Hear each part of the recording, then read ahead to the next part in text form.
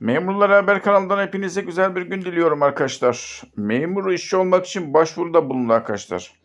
Memur maaşları tarihin en düşük seviyesine seyrede dursun. Memurlar artık özellikle büyük şehirlerde sadece bir kiraya bile maaşları yetmiyor arkadaşlar. Sadece kiraya altını çiziyorum. Memurlar nasıl geçiniyor Allah kerim diyoruz.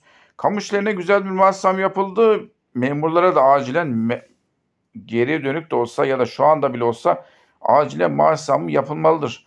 Memur işçi olmak için başvuruda bulundu arkadaşlar.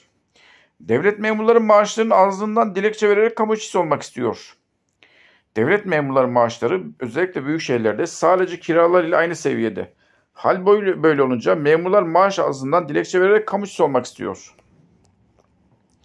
Nevşehir'de Nevşehir Üniversitesi İbrahim Doğan Üniversitesi'nde teknisyen statüsünde memurluk yapan memur ben kamu işçisi olmak istiyorum deyip kurumuna dilekçeyle başvuru yaptı. Nevşehir Üniversitesi teknisyen olarak görev yapan memur açıklanan kamu işlerine verilen zam oranlarından sonra işçi olmak için başvuru yaptı.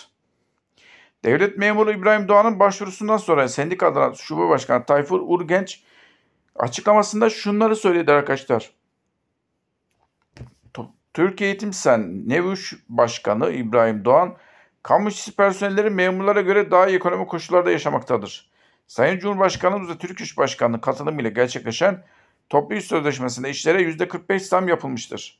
Cumhurbaşkanının açıklamasına göre en düşük kamu işçisinin maaşı 15 bin TL olmuştur. Memur ve kamu işçisi arasında maaş farkı da işçi lehine artmıştır. Kamu işçisi yıl içerisinde maaşlarına ek olarak ikramiye ve tedi ödemeleri de almaktadır. Sosyoekonomik yaşam seviyesi memurlardan daha yüksek olan işçi statüsüne teknisyen memur olduğum için de teknik bir işçi kadrosuna atamak için başvurumu gerçekleştirdim. İfadeleri ni dilekçesinde belirterek işçi statüsüne geçmek için eylemini gerçekleştirmiştir. Diyor arkadaşlar açıklamada. Şu an kamu işlerinin tediye ve ikramiye ile ortalama maaşları 25 bin TL seviyesinde olurken ortalama bir memur ise 12 bin ile 15 bin TL maaş almaktadır.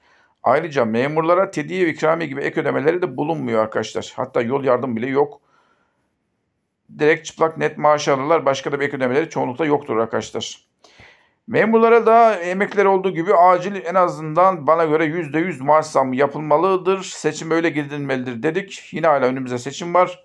Umarız yetkililer sesimizi duyar arkadaşlar. Gelişmeleri vermeye devam edeceğiz.